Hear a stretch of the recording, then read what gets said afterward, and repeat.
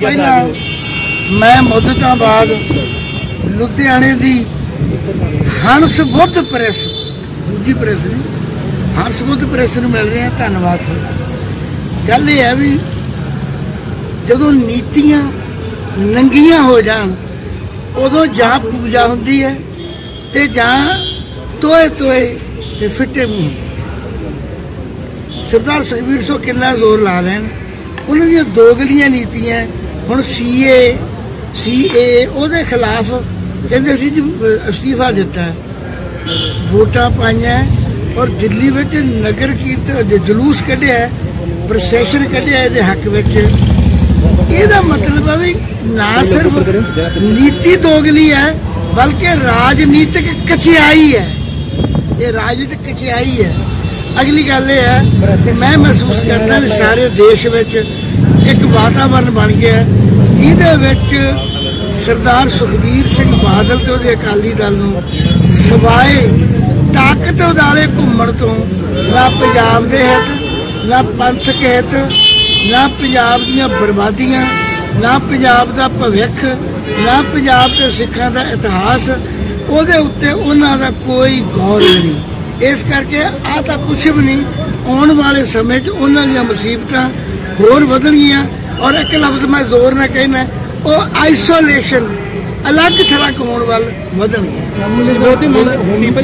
ਨੇ ਦੇ ਤੁਸੀਂ ਮੈਂ ਕਮਾਲ ਕਰਦੇ ਹੋ ਕਦੇ ਵੀ ਜਿਹੜਾ ਫਲ ਹੈ ਉਹ 8 ਮਹੀਨੇ ਦੇ ਬੂਟੇ ਨੂੰ ਲੱਗਦਾ ਹੈ। ਫਲ ਤਾਂ ਵੱਡੇ ਦਰਖਤ ਨੂੰ ਲੱਗਦਾ ਹੈ। ਫਿਰ ਵੱਡੇ ਦਰਖਤ ਦਾ ਫਲ ਤਾਂ ਲੰਮਕੀ ਜਾਂਦਾ ਬੂਟੇ ਪੱਟਣ ਨੂੰ ਕਹਿੰਦੇ ਉਹ ਫਲ ਵੱਡਾ ਉੱਥੇ ਟੁੱਟ ਕੇ ਅਸਤੀਫਾ ਦੇ ਦੇਵੇ। ਅਮਲੇ ਸਰ ਜਿਵੇਂ ਹੁਣ ਤੁਸੀਂ ਫਿਲਹਾਲ ਯੂਪੀ ਦੇ ਐਮਐਲਏ ਸੀ ਨਾ ਤੇ ਹੁਣ ਇਹ ਤੁਸੀਂ ਪੰਜਾਬ ਦੀ ਪੋਲਿਟਿਕਸ ਦੇ ਵਿੱਚ ਵੀ ਮੈਂ ਇੱਕ- ਇੱਕ ਇਸ਼ੂ ਤੋਂ ਆਇਆ ਹਾਂ। ਕੇਵਲ ਤੇ ਕੇਵਲ ਜਿਹੜਾ ਇਤਿਹਾਸ ਗੁਰਦੁਆਰੇ ਸਹਿਬਾਨਾਂ ਦੀ ਦੁਰਪਯੋਗ ਹੈ ਉਹ 1920 ਚ ਇੱਕ ਮੋਰਚਾ ਲੱਗਿਆ ਸੀ ਬੜਾ ਸੋਹਣਾ ਸਵਾਲ ਕੀਤਾ। ਇੱਕ ਮੋਰਚਾ 1920 ਚ ਲੱਗਿਆ ਸੀ। ਇੱਕ ਮੋਰਚਾ 2020 ਦਾ ਇਹ ਗੁਰਦੁਆਰਿਆਂ ਦੇ ਅੰਦੋਲਨ ਤੇ ਗੁਰਦੁਆਰਿਆਂ ਦੀ ਲੁੱਟ ਖਸੁੱਟ ਦੇ ਖਿਲਾਫ ਤੇ ਗੁਰਦੁਆਰਿਆਂ ਵਿੱਚ ਤਾਕਤਵਰਾਂ ਤੇ ਸ਼ਕਤੀਆਂ ਦਾ ਦਖਲ ਖਤਮ ਕਰਨ ਲਈ ਇਹ ਗੁਰਦੁਆਰਾ ਸੁਧਾਰ ਲਹਿਰ ਦੀ ਦੂਜੀ ਜੰਗ ਹੈ। ਉਹ ਵੀ ਜੈਤੋ ਤੋਂ ਹੋਈ ਸੀ। ਜੈਤੋ 1920 ਚ ਗੋਲੀ ਚੱਲੀ ਸੀ ਤੇ ਇਹ ਜੈਤੋ ਦੇ ਨੇੜੇ 5 ਕਿਲੋਮੀਟਰ ਤੇ ਬਰਗਾੜੀ ਤੇ ਕੋਟਕਪੂਰੇ ਉੱਥੇ ਗੋਲੀ ਚੱਲੀ। ਇਹ ਸਿਮਿਲੈਰਿਟੀ ਗੁਰੂ ਗੋਬਿੰਦ ਸਿੰਘ ਕਰ ਰਿਹਾ ਰਾਮਵਾਲੀ ਸਾਹਿਬ ਜਿਹੜੀ ਮੰਗ ਤੁਸੀਂ ਕਰ ਰਹੇ ਹੋ। ਸਭਾ ਤੱਕ ਲੱਗ ਜਾਏਗੀ? ਹੈ? ਐਸਜੀਪੀਸੀ ਸੇਵਾ ਵਿਧਾਨ ਸਭਾ ਚੋਣਾਂ ਅਗਲਾ ਫਿਰ ਰੁੱਖ ਹੈ? ਨਹੀਂ ਨਹੀਂ ਉਹ ਮੈਂ ਹਲੇ ਨਹੀਂ ਕਹਿੰਦਾ। ਮੇਰਾ ਮੁੱਦ ਮੈਂ ਅਕਾਲੀਆਂ ਦਲਾਂ 'ਚ ਨਹੀਂ ਕਿਸੇ ਵੀ ਅਕਾਲੀ ਦਲ ਪਰ ਮੈਂ ਮਦਦ ਪੂਰੀ ਕਰ ਰਿਹਾ ਜਿਹੜੀ ਮੰਗ ਤੁਸੀਂ ਕਰ ਰਹੇ ਹੋ ਐਸਜੀਪੀਸੀ ਨੂੰ ਛੁਟਕਾਰਾ ਦਿਲਾਉਣ ਦੀ ਉਹੀ ਮੰਗ ਉਹੀ ਮੰਗ ਫੁਲਕਾ ਸਾਹਿਬ ਵੀ ਕਰ ਰਹੇ ਹੈ।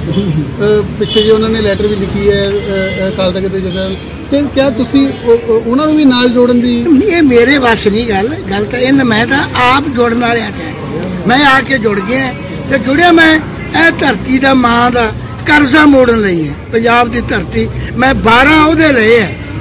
ਸਿਰਫ ਪੰਜਾਬ ਤੋਂ ਦੋ ਲਏ ਹੈ। 10 ਉਹਦੇ ਉੱਪਰੋਂ ਲਏ ਹੈ। ਯੂਨੀਵਰਸਿਟੀ ਮੈਡੀਕਲ ਯੂਨੀਵਰਸਿਟੀ ਦਾ ਚਾਂਸਲਰ ਤੱਕ ਬਣਿਆ ਹੈ। ਪਰ ਮੈਂ ਆਪਦੇ ਪੇਕਿਆਂ ਨੂੰ ਆਪਦੀ ਧਰਤੀ ਨੂੰ ਨਮਸਕਾਰ ਕਰਨਾ ਹੈ ਮੈਂ ਤਾਂ ਦੋ ਵਾਰੀ ਪੰਜਾਬ ਤੋਂ ਐਮਪੀ ਬਣਿਆ ਬਾਕੀ ਤਾਂ ਮੈਂ ਬਾਹਰੋਂ ਬਾਹਰੀ ਜੋ ਕੀਤਾ ਕੀਤਾ। ਪਰ ਪੰਜਾਬ ਦੀ ਵਫਾਦਾਰੀ ਮੁੰਡੇ ਬਚਾਉਣੇ ਕੁੜੀਆਂ ਬਚਾਉਣੀਆਂ ਟਰੱਕ ਟੈਕਸੀ ਦੇ ਧੰਦੇ ਨੂੰ ਬਚਾਉਣਾ ਜਵਾਨੀ ਨੂੰ ਬਚਾਉਣੇ ਲੁੱਟ ਤੋਂ ਨਸ਼ੇ ਦੇ ਖਿਲਾਫ ਲੜਨਾ ਬਹੁਤ ਕੁਝ ਕੀਤਾ ਪੰਜਾਬ ਨੇ। ਠੀਕ ਹੈ। ਧੰਨਵਾਦ। ਆ ਮੈਂ ਸਮਝਦਾ ਮੀਟਿੰਗਾਂ ਹੋ ਰਹੀਆਂ ਨੇ ਇੱਕ ਮੂਡ ਬਣ ਚੁੱਕਾ ਹੈ ਕੌਮ ਦਾ। ਕਿ ਸ਼੍ਰੋਮਣੀ ਗੁਰਦੁਆਰਾ ਪ੍ਰਬੰਧਕ ਕਮੇਟੀ ਨੂੰ ਸ੍ਰੀ ਅਕਾਲ ਤਖਤ ਸਾਹਿਬ ਨੂੰ ਆਜ਼ਾਦ ਕਰਾਉਣਾ ਇੱਕ ਪਰਿਵਾਰ ਕੋਲੋਂ। ਉਹਦੇ ਵਾਸਤੇ ਜਿਹੜੇ ਲੋਕ ਅਸੀਂ ਇਕੱਠੇ ਹੁੰਨੇ ਆ, ਅਸੀਂ ਆਪਣੇ ਆਪਣੀਆਂ ਪਾਰਟੀਆਂ ਨੇ, ਆਪਣੇ ਆਪਣੇ ਧੜੇ ਨੇ। ਲੇਕਿਨ ਇੱਕ ਕਾਮਨ ਫੈਕਟਰ ਸਾਡੇ 'ਚ ਹੈਗਾ ਕਿ ਅਸੀਂ ਇਹ ਸਾਡੀਆਂ ਇੰਸਟੀਟਿਊਸ਼ਨਸ ਜਿਹੜਾ 1920 ਚ ਅਕਾਲੀ ਦਲ ਬਣਿਆ ਸੀ, ਜਿਸ ਸੋਚ ਤੇ ਬਣਿਆ ਸੀ, ਜਿਸ ਕੁਰਬਾਨੀਆਂ ਨਾਲ ਬਣਿਆ ਸੀਗਾ, ਜਿਹੜੇ ਮਹੰਤਾਂ ਨੂੰ ਕੱਢਿਆ ਸੀ ਅੱਜ ਨਵੇਂ ਕਿਸਮ ਦੇ ਮਹੰਤ ਸਾਡੀ ਸ਼ਕਲ ਚ ਆ ਕੇ ਬੈਠੇ ਨੇ ਉਹਨਾਂ ਨੂੰ ਕੱਢਣਾ ਉਹਦੇ ਵਾਸਤੇ ਇਕੱਠੇ ਹੁੰਨੇ ਆ ਉਹਦੇ ਵਾਸਤੇ ਪ੍ਰੋਗਰਾਮ ਹੋ ਰਹੇ ਨੇ ਔਰ ਇੱਕ ਹੌਲੀ ਹੌਲੀ ਜਿਹਾਦ ਬਣਦਾ ਜਾ ਰਿਹਾ। ਕੀ ਲੱਗਦਾ ਜੀ ਦਿੱਲੀ ਦੇ ਵਿੱਚ ਵੀ ਆ ਤੁਹਾਡੇ ਤੇ ਜਿਹੜੀ ਆ ਬਿਆਨਬਾਜ਼ੀ ਹੋ ਰਹੀ ਆ ਹੁਣ ਇੱਥੇ ਐਸਜੀਪੀਸੀ ਦੇ ਚੁਣਾਵਾਂ ਨੂੰ ਲੈ ਕੇ ਦੱਸ ਰਹੇ ਨੇ ਕਿ ਮੀਟਿੰਗਾਂ ਸਾਡਾ ਟਾਰਗੇਟ ਜਿਹੜਾ ਐਸਜੀਪੀਸੀ ਹੈਗਾ। 100% ਐਸਜੀਪੀਸੀ ਟਾਰਗੇਟ ਹੈ। ਐਸਜੀਪੀਸੀ ਦੇ ਵਿੱਚੋਂ ਦੀ ਜਿਹੜੀ ਇਹ ਪਰਿਵਾਰ ਦੀ ਗਲਵਕੜੀ ਹੈ ਇਸ ਨੂੰ ਛਡਵਾਉਣਾ ਬੜਾ ਲਾਜ਼ਮੀ ਹੈ ਔਰ ਉਸੇ ਕਰਕੇ ਹੀ ਇਹ ਸਾਰੇ ਪ੍ਰੋਗਰਾਮ ਕੀਤੇ ਜਾ ਰਹੇ ਨੇ। ਗਰੁੱਪ ਹੈ ਜੀ ਐਸਜੀਪੀਸੀ ਦੇ ਇਲੈਕਸ਼ਨ ਲੜੇਗਾ ਸਰ? ਨਹੀਂ ਜਿਹੜਾ ਮੈਂ ਦਿੱਲੀ ਚ ਸੀਮਤ ਹਾਂ ਮੇਰਾ ਮੇਰੀ ਦਿੱਲੀ ਤੱਕ ਜੁਰਿਸਡਿਕਸ਼ਨ ਹੈ ਦਿੱਲੀ ਤੋਂ ਬਾਹਰ ਨਹੀਂ ਆਵਾਂਗਾ ਪਰ ਜਿਹੜਾ ਵੀ ਇੱਥੇ ਧੜਾ ਖੜਾ ਹੋਊਗਾ ਉਹਨੂੰ ਪੂਰੀ ਸਪੋਰਟ ਕਰਾਂਗੇ ਅਸੀਂ। ਜਿਹੜਾ ਇਹਨਾਂ ਨੇ ਜਿਹੜਾ ਇਹਨਾਂ ਨੇ ਸੀਏ ਨੂੰ ਲੈ ਕੇ ਸਟੈਂਡ ਲਿਆ ਔਰ ਇਹ ਕਿਹਾ ਵੀ ਸਾਡੀ ਇਸ ਕਰਕੇ ਦਿੱਲੀ 'ਚ ਅਸੀਂ ਨਹੀਂ ਲੜ ਰਹੇ। ਜੇ ਜੇ ਇਹਨਾਂ ਨੇ ਸੀਏ ਨੂੰ ਲੈ ਕੇ ਸਟੈਂਡ ਲਿਆ ਤੇ ਸੀਏ ਦੇ ਹੱਕ ਦੇ ਵਿੱਚ ਵੋਟਾਂ ਕਾਹਨੂੰ ਪਾਈਆਂ ਇਹਨਾਂ ਨੇ? ਫਿਰ ਸੀਏ ਦੇ ਹੱਕ 'ਚ ਵੋਟਾਂ ਪਾਉਂਦੇ ਨੇ ਤੇ ਬੀਜੇਪੀ ਇਹਨਾਂ ਨੂੰ ਸੀਟਾਂ ਨਹੀਂ ਦੇ ਰਹੀ। ਜਿਹੜੀ ਨਤੀਸ਼ ਕੁਮਾਰ ਦੀ ਪਾਰਟੀ ਹੈ ਜੇਡੀਯੂ, ਉਹਦੇ ਹੱਕ 'ਚ ਵੋਟਾਂ ਨਹੀਂ ਪਾਉਂਦੀ ਵਾਕਆਊਟ ਕਰਦੀ ਹੈ ਤਾਂ ਵੀ ਦਿੱਲੀ 'ਚ ਦੋ ਸੀਟਾਂ ਬੀਜੇਪੀ ਦੇ ਦਿੰਦੀ ਹੈ ਬੀਜੇਪੀ ਨੂੰ ਸਮਝ ਆ ਚੁੱਕੀ ਹੈ ਕਿ ਇਸ ਪਰਿਵਾਰ ਦੇ ਕੋਲ ਸਿੱਖਾਂ ਦੀ ਵੋਟਾਂ ਹੈ ਨਹੀਂ ਗਿਆ। ਇਸ ਕਰਕੇ ਉਹਨਾਂ ਨੇ ਬਾਹਰ ਦਾ ਰਸਤਾ ਦਿਖਾਤਾ ਔਰ ਅੱਜ ਇਹਨਾਂ ਨੇ ਫਿਰ ਫੈਸਲਾ ਕੀਤਾ ਸੀਗਾ ਕਿ ਅਸੀਂ ਇਲੈਕਸ਼ਨ ਲੜਾਂਗੇ ਤੱਕੜੀ ਤੇ ਦਿੱਲੀ ਦੇ ਵਿੱਚ 8 ਸੀਟਾਂ ਤੇ। ਇਹਨਾਂ ਦੇ ਵੱਡੇ ਵੱਡੇ ਧੁਰੰਦਰ ਭਾਵੇਂ ਉਹ ਸਰਸਾ ਸਾਹਿਬ ਹੋਣ ਭਾਵੇਂ ਕਾਲਕਾ ਜੀ ਹੋਣ ਪ੍ਰਧਾਨ ਹੋਏ ਅਕਾਲੀ ਦਲ ਦਾ ਉਹ ਭੱਜ ਗਏ ਇਲੈਕਸ਼ਨ ਲੜਨ ਤੋਂ। ਕਿਉਂ ਨਹੀਂ ਇਲੈਕਸ਼ਨ ਲੜਦੇ ਬੀਜੇਪੀ ਦੇ ਤੁਹਾਨੂੰ ਕੀ ਲੱਗਦਾ ਵੀ ਸੀਏ ਦੀ ਸਿਰਫ ਆੜ ਲਈ ਜਾ ਰਹੀ ਹੈ ਇਹਨਾਂ ਆੜ ਲਈ ਜਾ ਰਹੀ ਹੈ। ਇਹਨਾਂ ਦੀ ਕਹਿੰਦੇ ਕਿ ਬੜੇ ਬੇਆਬਰੂ ਹੋ ਕੇ ਤੇਰੇ ਕੂਚੇ ਸਾਹਮਣੇ ਨਿਕਲੇ। ਇਹਨਾਂ ਨੂੰ ਮੂੰਹ ਛਪਾਉਣ ਦਾ ਰਾਹ ਨਹੀਂ ਲੱਭਦਾ ਪਿਆ। ਬਹਾਨੇ ਉਹ ਮਾਰਦੇ ਪਏ ਨੇ ਜਿਹਦੇ ਚ ਆਪ ਹੀ ਦੁਬਾਰਾ ਬੇਇੱਜ਼ਤ ਹੋ ਇਹਨਾਂ ਰਹੇ ਨੇ ਹਜੇ ਵੀ ਸੈਂਟਰ 'ਚ ਮਿਨਿਸਟਰੀ ਹਜੇ ਵੀ ਲਈ ਹੋਈ ਹੈ ਉਹਦੇ ਬਾਰੇ ਇਹ ਆਪਣੇ ਕਾਉਂਸਲਰ ਨੂੰ ਕਹਿੰਦੇ ਆ ਕਿ ਅਸਤੀਫੇ ਦਿਓ। ਕਾਉਂਸਲਰ ਕਹਿੰਦੇ ਪਹਿਲੇ ਬੀਬਾ ਦਾ ਅਸਤੀਫਾ ਦਵਾ ਦਿਓ ਫਿਰ ਸਾਡੇ ਅਸਤੀਫੇ ਦਵਾਣਾ ਇਸ ਤੋਂ ਇਲਾਵਾ ਗੱਲ ਕੀਤੀ ਜਾਵੇ ਜੀ ਨਵਜੋਤ ਸਿੰਘ ਸਿੱਧੂ ਨੂੰ ਟਕਸਾਲੀ ਦਲ ਅਕਾਲੀ ਜਿਹੜੇ ਹੈਗੇ ਨੇ ਸੇਵਾ ਸਿੰਘ ਸੇਖਵਾ ਜੀ ਤੇ ਬ੍ਰਹਮਪੁਰਾ ਜੀ ਉਹਨਾਂ ਨੇ ਸੀਐਮ ਕੈਂਡੀਡੇਟ ਐਲਾਨ ਦਿੱਤਾ ਉਹਨੂੰ ਕਿੱਦਾਂ ਦੇਖਦੇ ਹੋ ਮੈਂ ਸਮਝਦਾ ਉਹਨਾਂ ਦਾ ਵਿਊ ਪੁਆਇੰਟ ਹੈ ਉਹਨਾਂ ਦੀ ਪਾਰਟੀ ਦਾ ਵਿਊ ਪੁਆਇੰਟ ਹੈ ਸਾਡਾ ਇਹਦੇ 'ਚ ਕੋਈ ਲੈਣ ਦੇਣ ਨਹੀਂ ਹੈ ਇੱਕ ਬੈਂਸ ਬ੍ਰਦਰ ਵੱਲੋਂ ਕੱਲ ਜਿਹੜਾ ਉਹਨਾਂ ਨੂੰ ਸੱਦਿਆ ਨਹੀਂ ਗਿਆ ਆਲ ਪਾਰਟੀ ਮੀਟਿੰਗ ਦੇ ਵਿੱਚ ਪਾਣੀਆਂ ਦੇ ਮੁੱਦੇ ਨੂੰ ਲੈ ਕੇ ਪੰਜਾਬ ਦੇ ਵਿੱਚ ਅਗਰ ਗੱਲ ਕੀਤੀ ਜਾਵੇ ਸਾਰੀਆਂ ਪਾਰਟੀਆਂ ਦੀ ਮੀਟਿੰਗ ਹੋਈ ਸੀ। ਮੈਂ ਸਮਝਦਾ ਕਿਤੇ ਨਾ ਕਿਤੇ ਸੁਖਬੀਰ ਸਿੰਘ ਬਾਦਲ ਨੂੰ ਸਾਰ ਜਿਹੜੇ ਕੈਪਟਨ ਸਾਹਿਬ ਨੇ ਉਹੀ ਆਕਸੀਜਨ ਦਿੰਦੇ ਨੇ ਉਹੀ ਬਚਾਉਂਦੇ ਨੇ। ਇਹ ਬਣ ਗਿਆ? ਹਾਂਜੀ। ਅੱਜ ਦੀ ਪਹਿਲਾਂ ਮੀਟਿੰਗ ਦਾ ਬਰੀਫਿੰਗ ਕਰ ਦਿਓ ਫਿਰ ਉਸ ਤੋਂ ਬਾਅਦ ਥੋੜੇ ਜਿਹੇ ਦੇਖੋ ਅੱਜ ਦੀ ਮੀਟਿੰਗ ਦਾ ਮਕਸਦ ਤਾਂ ਇਹ ਹੈ ਕਿ ਪਹਿਲਾਂ ਅਸੀਂ ਤਿੰਨ ਜਥੇਬੰਦੀਆਂ ਇਕੱਠੇ ਹੋਏ ਇੱਕ ਮੈਂ ਸੀ ਜੀ। ਮੇਰੇ ਸਾਥੀ ਨੇ। ਇੱਕ ਟਕਸਾਲੀ ਅਕਾਲੀ ਦਲ ਇੱਕ ਅਕਾਲੀ ਦਲ ਨੌ- 1920 ਹੈ। ਜੀ। ਤਿੰਨਾਂ ਨੇ ਸ਼ੁਰੂ ਕਰਕੇ ਬਾਕੀ ਸਾਰਿਆਂ ਤੱਕ ਅਪਰੋਚ ਕੀਤੀ ਜਾ ਰਹੀ ਹੈ।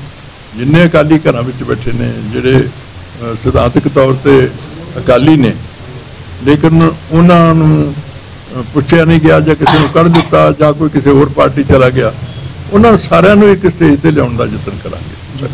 ਤਾਂ ਕਿ ਸ਼੍ਰੋਮਣੀ ਕਮੇਟੀ ਖਾਸ ਕਰਕੇ ਉਹਨੂੰ ਸੁਧਾਰਿਆ ਜਾ ਸਕਦੇ ਸ਼੍ਰੋਮਣੀ ਅਕਾਲੀ ਦਲ ਨੂੰ ਉਹਨਾਂ ਲੀਹਾਂ ਤੇ ਲਿਆਂਦਾ ਜਾ ਸਕੇ ਜਿਨ੍ਹਾਂ ਲੀਹਾਂ ਲਈ ਜਿਨ੍ਹਾਂ ਲੀਹਾਂ ਤੇ ਬਣਾਇਆ ਗਿਆ ਸੀ। ਉਹ ਸਾਰੀ ਗੱਲਾਂ ਕਰਨ ਲਈ ਅਸੀਂ ਸ਼ੁਰੂ ਕੀਤਾ ਤੇ ਅਜੇ ਤਾਂ ਸ਼ੁਰੂ ਹੀ ਸ਼ੁਰੂਆਤ ਹੀ ਜੀ ਤੇ ਛੱਡਣ ਦਾ ਕਾਰਨ ਕੀ ਰਿਹਾ ਜੀ? ਅਕਾਲੀ ਦਲ? ਮੈਂ ਤਾਂ ਛੱਡਿਆ ਅਕਾਲੀ ਦਲ। ਮੈਂ ਅਕਾਲੀ ਦਲ ਨਹੀਂ ਛੱਡਿਆ। ਮੈਨੂੰ ਤਾਂ ਕੱਢਿਆ ਜੀ। ਮੈਨੂੰ ਸਸਪੈਂਡ ਕੀਤਾ ਕੱਢਿਆ ਵੀ ਨਹੀਂ ਅਜੇ। ਕਾਹਦੇ ਲਈ ਕੀਤਾ? ਕੀ ਕਾਰਨ ਦੇ ਰਹੇ ਨੇ ਕਹਿੰਦੇ ਕਹਿੰਦੇ ਇਹ ਕਿਉਂ ਕਹਿੰਦੇ ਵੀ ਸੁਧਾਰ ਕਰੋ ਇਹਦੇ ਚ ਅਸੀਂ ਵਿੱਚ ਬੈਠ ਕੇ ਇਹੀ ਕਿਹਾ ਨਾ ਉਹਨਾਂ ਨੂੰ। ਕਿ ਹਾਰ ਗਏ ਸ਼੍ਰੋਮਣੀ ਅਕਾਲੀ ਦਲ ਤੇ ਪ੍ਰਧਾਨ ਅਸਤੀਫਾ ਦੇਵੇ ਹਰੇਕ ਪਾਰਟੀ ਦਿੰਦੀ ਹੈ ਤੇ ਸੁਬੀਰ ਨੇ ਨਹੀਂ ਅਸਤੀਫਾ ਦਿੱਤਾ। ਕਿਹੋ ਬਦਲਾਅ ਚਾਹੁੰਦੇ ਸੀ। ਅਸੀਂ ਬਦਲਾਅ ਚਾਹੁੰਦੇ ਵੀ ਜਿਸ ਜਿਸ ਜਿਸ ਮਕਸਦ ਲਈ ਸ਼੍ਰੋਮਣੀ ਅਕਾਲੀ ਦਲ ਬਣਿਆ ਡੈਮੋਕ੍ਰੇਟਿਕ ਢੰਗ ਨਾਲ ਚੱਲੇ ਤੇ ਕਿਤੇ ਕਿਸੇ ਦੀ ਉੱਥੇ ਸਹੀ ਨਹੀਂ ਹੈ। ਤੁਸੀਂ ਅੱਜ ਤੋਂ ਪਹਿਲਾਂ ਕਿਉਂ ਨਹੀਂ ਸਾਹਮਣੇ ਆਏ? ਨਾ ਮੈਂ ਪਹਿਲਾਂ ਸਾਹਮਣੇ ਆਇਆ ਜਦੋਂ ਦਾ ਸੁਖਬੀਰ ਆਇਆ ਉਦੋਂ ਨਹੀਂ ਹੋਈ ਪਹਿਲੇ ਵੱਡੇ ਬਾਦ ਨਾਲ ਤਾਂ ਕੋਈ ਕਿਸੇ ਦਾ ਕੋਈ ਨਹੀਂ ਸੀਗਾ। ਜਿੱਦਾਂ ਦਾ ਸੁਖਬੀਰ ਆਇਆ ਸਾਡੀ ਅੰਦਰ ਉਦੋਂ ਦੀ ਚੱਲਦੀ ਆ ਰਹੀ ਹੈ। ਢੀਂਡਸਾ ਸਾਹਿਬ ਇੱਕ ਨਾ ਪੰਥਕ ਧਿਰਾਂ ਦੇ ਵਿੱਚ ਹਮੇਸ਼ਾ ਇੱਕ ਗੱਲ ਆਉਂਦੀ ਹੈ ਵੀ ਆਰਐਸਐਸ ਆ ਜਿਹੜੇ ਸਿੱਖਾਂ ਦੇ ਮਸਲਿਆਂ ਦੇ ਵਿੱਚ ਦਖਲ ਦਿੰਦੀ ਹੈ ਔਰ ਉਹਨਾਂ ਨੇ ਹਮੇਸ਼ਾ ਆਰਐਸਐਸ ਨੂੰ ਕਿਤੇ ਨਾ ਕਿਤੇ ਅਕਸਰ ਅਖਬਾਰਾਂ ਦੇ ਵਿੱਚ ਮੀਡੀਆ ਰਾਹੀਂ ਉਹਨਾਂ ਨੇ ਉਹਨਾਂ ਨੂੰ ਬੇਨਕਾਬ ਕੀਤਾ ਚਾਹੇ ਉਹ ਸਿੱਖ ਇਤਿਹਾਸ ਦੇ ਵਿੱਚ ਛੇੜਛਾੜ ਬਹੁਤ ਸਾਰੇ ਮਾਮਲੇ ਨੇ ਜਿਨ੍ਹਾਂ ਨੂੰ ਅਸੀਂ ਹੁਣ ਜੇ ਲੰਮਾ ਬਹੁਤ ਨੇ ਉਹ ਜੇ ਆਪਾਂ ਕਰੀਏ। ਮਤਲਬ ਉਸ ਵੇਲੇ ਵੀ ਤੁਸੀਂ ਚੁੱਪ ਰਹੇ। ਮਤਲਬ ਉਸ ਵੇਲੇ ਕਿਉਂ ਨਹੀਂ ਉਹ ਚੀਜ਼ਾਂ ਦੇ ਇਹ ਕਿਹੜੀ ਗੱਲ ਮੈਨੂੰ ਤਾਂ ਦੱਸੋ ਮੈਨੂੰ ਕਿੱਦਾਂ ਸਾਡੇ ਕੋਲੇ ਕਿਹੜੀ ਕਿਹੜੀ ਗੱਲ ਕੀਤੀ ਸੀ? ਜਿਵੇਂ ਜਿਵੇਂ ਸਿੱਖ ਇਤਿਹਾਸ ਦੇ ਵਿੱਚ ਛੇੜਛਾੜ ਆਪਾਂ ਅਸੀਂ ਦੇ ਹਰੇਕ ਦੇ ਵੀ ਹਰੇਕ ਪ੍ਰੋਟੈਸਟ ਕਰਦੇ ਰਹੇ ਹਾਂ ਜਿੱਥੇ ਆ ਕੇ ਸਾਨੂੰ ਪਤਾ ਲੱਗਦਾ ਰਿਹਾ ਕਿ ਕਿਤੇ ਕੋਈ ਗਲਤੀ ਇਤਿਹਾਸ 'ਚ ਹੋਈ ਹੈ। ਜੀ ਜੀ। ਅਸੀਂ ਉੱਥੇ ਕੀਤਾ ਉਹਨਾਂ ਨੂੰ ਮਿਲੇ। ਜੀ ਜੀ। ਨਹੀਂ ਹੁਣ ਜੇ ਆਪਾਂ ਜੇ ਦੇਖੀਏ ਜਦੋਂ ਸੌਦਾ ਸਾਧ ਨੇ ਸਮਾਂਗ ਰਚਾਇਆ ਸੀ ਉਸ ਵੇਲੇ ਢੀਂਡਸਾ ਸਾਹਿਬ ਕਿਉਂ ਚੁੱਪ ਰਹੇ? ਅਸੀਂ ਅਸੀਂ ਚੁੱਪ ਨਹੀਂ ਰਹੇ। ਸਾਡੇ ਰੌਲੇ ਪਾਉਣ ਤੋਂ ਤਾਂ ਉਹਨਾਂ ਨੇ ਬਰਦਾਸ਼ਤ ਕੀਤਾ। ਜੀ। ਅਸੀਂ ਕਿਹਾ ਵੀ ਕੱਲਿਆਂ ਨੇ ਕਰਤਾ ਸਾਨੂੰ ਕਿਸੇ ਨੇ ਪੁੱਛਿਆ ਤੱਕ ਨਹੀਂ।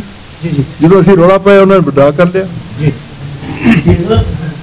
ਅਕਾਲੀ ਦਲ ਜਿਹੜੇ ਇਲੀਗਲ ਦੇ ਕਿਸ ਕਿਸ ਤਰ੍ਹਾਂ ਦੇ ਇਹੋ ਜਿਹੇ ਕਾਰੋਬਾਰ ਕਰਦੇ ਰਹੇ ਆ ਜੀ ਸੁਖਬੀਰ ਬਾਦਲ ਹੋਣੀ ਜਿਹੜੇ ਤੁਸੀਂ ਕਹਿੰਦੇ ਯਾਰ ਮੈਥੋਂ ਕਿਉਂ ਕਹਾਣੀ ਤੁਹਾਨੂੰ ਪਤਾ ਨਹੀਂ? ਐ ਜਰਨਲਿਸਟ ਤੁਸੀਂ ਮੈਂ। ਨਹੀਂ ਸੀ ਨਹੀਂ ਨਹੀਂ ਤੁਸੀਂ ਮੈਨੂੰ ਦੱਸੋ ਕਿ ਬਾਜਰਾ ਬਾਜਰੀ ਰੇਤਾ ਟਰਾਂਸਪੋਰਟ ਕੇਬਲ ਤੇ ਕੀ ਇਹਦੇ ਚ ਕਿਸੇ ਦਾ ਕਬਜ਼ਾ ਹੈ ਨਹੀਂ ਸੀ? ਕਿਹਦਾ ਕਬਜ਼ਾ ਚੱਲਦਾ ਤੁਹਾਨੂੰ ਨਹੀਂ ਪਤਾ? ਸਰ ਤੁਸੀਂ ਦੱਸੋ ਨਾ ਮੈਂ ਮੈਂ ਮੈਂ ਕਿਉਂ ਦੱਸਾਂ? ਤੁਹਾਨੂੰ ਜਿੱਦੋਂ ਪਤਾ ਹਰੇਕ ਨੂੰ ਕਿ ਕਿਹਦਾ ਕਬਜ਼ਾ ਸੀ ਇਸੇ ਲਈ ਤੇ ਸਾਡੀ ਲੜਾਈ ਨਹੀਂ। ਇਹ ਸੁਖਵੀਰ ਉਹਨਾਂ ਦਾ ਕਬਜ਼ਾ ਸੀ ਹੋਰ ਕਿਹਦਾ ਸੀ? ਤੁਹਾਨੂੰ ਨਹੀਂ ਪਤਾ। ਤੇ ਦੁਬਾਰਾ ਹੁਣ ਤੁਸੀਂ ਸੋਚਦੇ ਹੋ ਕਿ ਜੇ ਤੁਸੀਂ ਕਿਸੇ ਪਾਰਟੀ ਦੇ ਵਿੱਚ ਤੁਸੀਂ ਜਾਣਾ ਚਾਹੋਗੇ ਕਿ ਤੁਸੀਂ ਲੋਕ- ਨੂੰ ਕਿੱਦਾਂ ਜਾਓਗੇ? ਅਸੀਂ ਕਿਸੇ ਪਾਰਟੀ 'ਚ ਨਹੀਂ ਜਾਣਾ। ਅਸੀਂ ਸ਼੍ਰੋਮਣੀ ਅਕਾਲੀ ਦਲ ਹੈ- ਹੈਗੇ ਹਾਂ ਸ਼੍ਰੋਮਣੀ ਅਕਾਲੀ ਦਲ ਨੂੰ ਤਕੜਾਉਂਗੇ ਜਿਵੇਂ ਉਹਨਾਂ ਲੀਆਂ ਤੇ ਲਿਆਉਣ ਦਾ ਯਤਨ ਕਰਾਂਗੇ।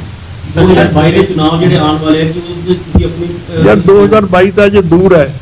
ਅਸੀਂ ਪਹਿਲਾਂ ਸ਼੍ਰੋਮਣੀ ਕਮੇਟੀ ਨੂੰ ਸਿਧਾਂਤਕ ਤੌਰ ਤੇ ਲਿਆਉਣਾ ਚਾਹੁੰਦੇ ਹਾਂ ਕਿ ਉੱਥੇ ਜਿਹੜੀ ਗੜਬੜ ਹੋ ਰਹੀ ਹੈ ਜੋ ਲੁੱਟ ਹੋ ਰਹੀ ਹੈ ਉਹਨੂੰ ਰੋਕਿਆ ਜਾ ਸਕੇ। ਜਿਵੇਂ ਤੁਸੀਂ ਗੱਲ ਕਰਦੇ ਹੋ ਜਿਵੇਂ ਤਿੰਨ ਅਕਾਲੀ ਦਲ ਇਕੱਠੇ ਹੋ ਰਹੇ ਹੋ ਵੀ ਸੋਗੀ ਤੁਹਾਡਾ ਤੇ ਇਹ ਤੀਜੀ ਧਿਰ ਗਿਣੀ ਜਾਂਦੀ ਇੱਕ ਤਰੀਕੇ ਨਾਲ। ਜਿਹੜੀ ਬਾਕੀ ਦੇ ਆਰਗੇਨਾਈਜੇਸ਼ਨ ਨੇ ਜਾਂ ਲਈਏ ਉਹ ਵੀ ਤੀਜੀ ਧਿਰ ਕਹਿੰਦੇ ਆਪਣੇ ਆਪ ਨੂੰ ਐਲਆਈਪੀ ਹੋ ਗਈ ਹੈ ਬਾਕੀ। ਇਹਨਾਂ ਦਾ ਕਿਸੇ ਤਰੀਕੇ 2022 ਦੇ ਵਿੱਚ ਇਕੱਠਾ ਹੋ ਸਕਦਾ ਅਲਾਈਅੰਸ ਹੋ ਯਾਰ ਇੱਕ- ਇੱਕ- ਸਭ ਕੁਝ ਹੋ ਸਕਦਾ ਪੋਲਿਟਿਕਸ ਕੁਝ ਨਹੀਂ। ਲੇਕਿਨ ਅਜੇ ਅਜੇ ਸਾਡੀ ਲੜਾਈ ਹੈ ਸ਼੍ਰੋਮਣੀ ਕਮੇਟੀ ਵਾਲੀ। ਉਹਦੇ ਜਿਹੜੇ ਸਾਡੇ ਨਾਲ ਆਉਣਾ ਚਾਹਣਗੇ ਇਸੇ ਕਰਕੇ ਤਾਂ ਅਸੀਂ ਆਏ ਹਾਂ ਵੀ ਆਓ ਅਸੀਂ ਨੌਜਵਾਨਾਂ ਨੂੰ ਖੜੇ ਕਰ ਰਹੇ ਹਾਂ ਅਸੀਂ ਕਹਿੰਦੇ ਵੀ ਨੌਜਵਾਨੇ ਆਓ ਤੁਸੀਂ ਤੁਸੀਂ ਸੰਭਾਲਣਾ ਅਸੀਂ ਤਾਂ ਹੁਣ ਆਪਣੀ ਉਮਰ ਲੰਘਾਈ ਬੈਠੇ। ਆਓ ਆਪਣੀ ਕੌਮ ਨੂੰ ਸੰਭਾਲੋ ਆਪਣੇ ਪੰਜਾਬ ਨੂੰ ਸੰਭਾਲੋ ਕੀਰਤਨ ਸਾਹਿਬ ਜਿਸ ਤਰ੍ਹਾਂ ਕਿ ਸੁਖਬੀਰ ਦੇ ਬਿਆਨ ਆ ਰਹੇ ਨੇ ਕਹਿ ਰਹੇ ਜੀ ਤੁਸੀਂ ਕਾਂਗਰਸ ਦੀ ਸ਼ਹਿਰ ਦੇ ਉੱਤੇ ਬੋਲਦੇ ਸਾਰਾ ਕੁਝ ਸੁਖਦੇਵ ਸਿੰਘ ਢੀਂਡਸੇ ਦਾ ਕਦੇ ਪਿਛਲਾ ਇਤਿਹਾਸ ਦੇਖਿਆ?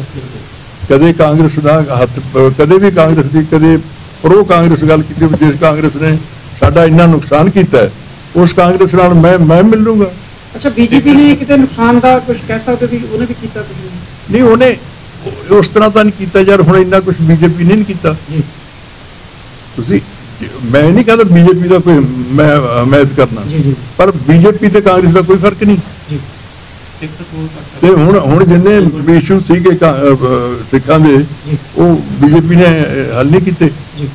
ਨਹੀਂ ਕਿਤੇ ਨਾ ਕਿਤੇ ਕਿਤੇ ਉਹਨੇ ਉਹਨੇ ਨੇ ਸਾਡਾ ਗੁਰੂ ਘਰ ਨੂੰ ਬਖਸ਼ੇ ਸਾਨੂੰ ਸਾਡੇ ਸਿੱਖ ਭਰਾਵਾਂ ਨੂੰ ਕਿੰਨਿਆਂ ਨੂੰ ਹਜ਼ਾਰਾਂ ਨੂੰ ਸ਼ਹੀਦ ਕੀਤਾ।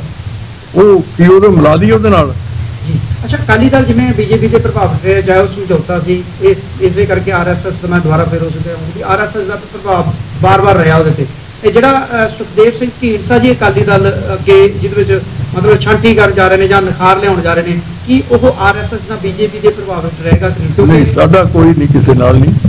ਕੱਲ ਨੂੰ ਅਸੈਂਬਲੀ ਦੀ ਇਲੈਕਸ਼ਨ ਹੁੰਦੀ ਹੈ ਉਦੋਂ ਕੀ ਹੁੰਦਾ ਵੱਖਰੀ ਗੱਲ ਸਾਡਾ ਪਹਿਲਾ ਮਕਸਦ ਹੈ ਸ਼੍ਰੋਮਣੀ ਕਮੇਟੀ ਨੂੰ ਸੁਧਾਰ। ਤੁਹਾਡੇ ਨਾਲ ਬਾਰੇ ਵੀ- ਕੌਣ ਕੌਣ ਆ ਸਕਦੇ ਜੀ? ਤੁਹਾਡੇ ਨਾਲ ਹੋਰ ਕੌਣ ਕੌਣ ਸਾਥੀ ਯਾਰ ਜਦੋਂ ਆਉਣਗੇ ਪਤਾ ਤੁਹਾਨੂੰ ਸਭ ਤੋਂ ਪਹਿਲਾਂ ਤੁਹਾਨੂੰ ਪਤਾ ਲੱਗੂ। ਕੀਰਤਨ ਸਾਹਿਬ ਇੱਕ ਗੱਲ ਅਕਸਰ ਆ ਦੇਖੋ ਖਾਲਸੇ ਵੀ ਆ ਨਹੀਂ ਰਹੇ। ਇਹ ਅਕਾਲੀ ਦਲ ਜੀ ਸਾਰੇ ਹੁਣ ਵੱਡੇ ਵੱਡੇ ਗਿਰਨਗੇ ਜਿਹੜੇ ਬਹੁਤ ਉੱਥੇ ਝੋਲੀ ਝੋਲੀ ਚੁੱਕੀ ਫਿਰਦੇ ਨੇ। ਸਭ ਇੱਕ ਗੱਲ ਤਾਂ ਕਹਿੰਦੇ ਤੁਸੀਂ ਕਹਿ ਰਹੇ ਹੋ ਕਿ ਜਿਹੜਾ ਸੁਖਬੀਰ ਹੈਗਾ ਉਹਨੇ ਪਾਰਟੀ ਨੂੰ ਕੋਈ ਦੇਣ ਕੁਝ ਕੀਤਾ ਹੈਗਾ ਪਰ ਬਾਰ-ਬਾਰ ਪੈਦਾ ਹੋਇਆ। ਉਹ ਤੁਹਾਡੇ ਦੇ ਵੀ ਇੱਕ ਜਨਾਰ ਨੇ ਜੀ। ਵੀ। ਮੈਂ ਉਹਨਾਂ ਨੂੰ ਵੀ ਕਹਿੰਦੇ ਨੇ ਕੀਤਾ ਵੀ ਪ੍ਰਵਿੰਦਰ ਸਿੰਘ ਢੀਂਡਸਾ ਨੂੰ ਉਹਨੇ ਜੁਆਇਨ ਕਰ ਦਿੱਤੀ। ਇਹ ਇਹਦੇ ਬਾਰੇ ਇੱਕ ਸਮਝ ਲਓ ਮੈਂ ਕੋਈ ਆਪਣੇ ਬੇਟੇ ਲਈ ਟਿਕਟ ਨਹੀਂ ਸੀ ਮੰਗਿਆ। ਬਾਲ ਸਾਹਿਬ ਨੇ ਕਿਹਾ ਮੈਂ ਇਹਨੂੰ ਇਹਨੂੰ ਲੜਾਉਣਾ ਹੈ। ਉਹ ਲੜਾਇਆ।